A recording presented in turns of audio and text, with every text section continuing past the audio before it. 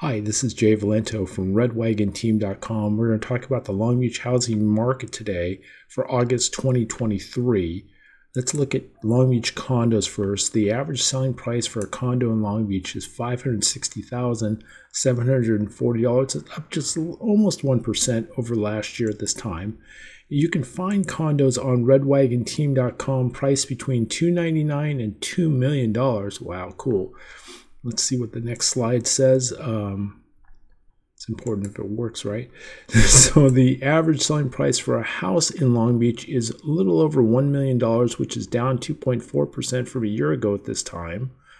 And then for Long Beach homes, uh, currently you can find them between 525,000 and just under $8 million on redwagonteam.com. Look forward to meeting you soon. Take care. Bye.